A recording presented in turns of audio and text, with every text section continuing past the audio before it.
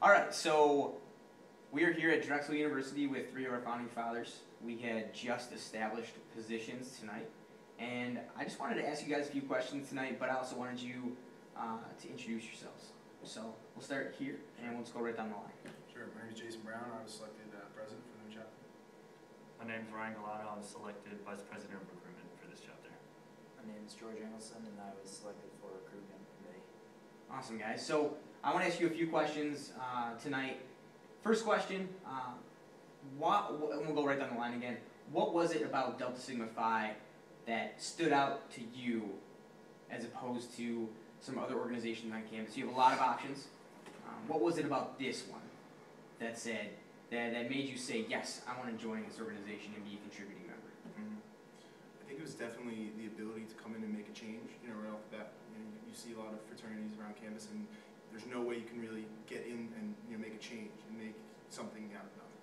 Um, the opportunity presented itself, you know, to join this fraternity and, you know, create something that really lasts, you know, so I think that's what I'm trying to get out of this and why I sort of hopped on board.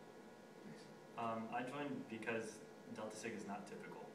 It is your atypical environment. We are surrounded by the greatest group of guys that I know. And the thing that really baited me in was the video um, that we had watched in one of our sessions about how Delta Sig is completely different, how they're not typical, how they're different, and how they want to change the world. So that's why I joined.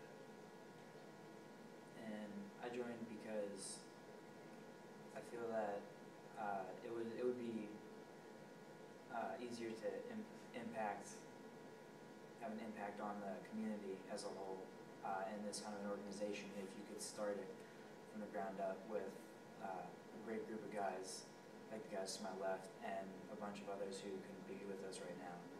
Uh, it's also because as, as was said previously, it's an atypical organization.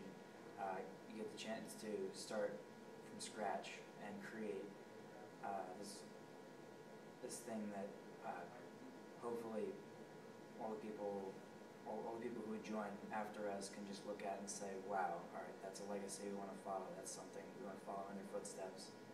Uh, basically, just do something do something great, be a part of something bigger. Nice.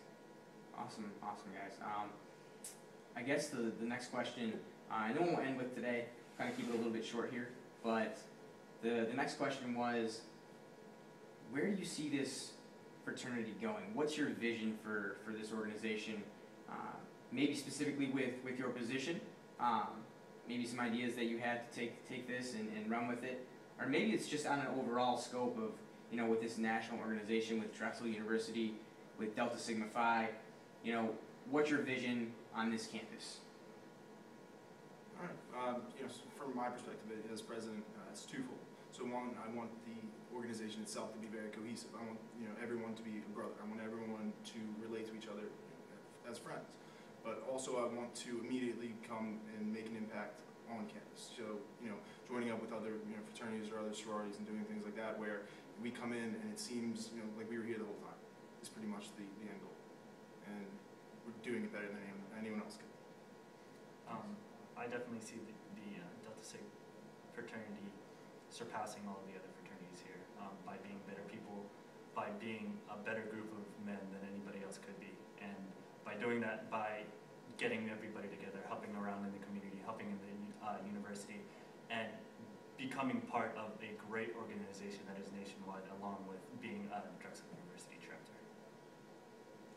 And uh, I just, I would have to say, I look forward to uh, just becoming a well-established fraternity uh, and restoring uh, old term of fraternity as opposed to what it has become nowadays, as opposed to the, uh, oh, it's all, it's a frat, you know, let's, let's party and, you know, just try and hang with the bros. No, I'd rather it become more about the fraternity, like it's a brotherhood. Uh, you have to earn the right to be in it, but once you're in it, you know, you're embraced like a brother, and you do wonderful things. So I have to say, I just want to see fraternity back to its old meaning. You I'd, I'd say its true meaning. Mhm. So Nice. I, I think that's those are some strong words from some strong gentlemen, and there's a reason you guys have positions uh, in this chapter. So I'm, I'm I'm glad that that you were in the positions you're in, and that you're here to contribute to this organization, not only here at Drexel, but on the national level too. So we will see all three of you at the summit coming up in January. Uh, and I know you guys are excited about that. We're excited about it as well. And I thank you guys for sitting down and chatting a bit about your experience with Delta Sigma Phi and what your vision is. Um, So yeah, thanks guys. Thank you. Thank you.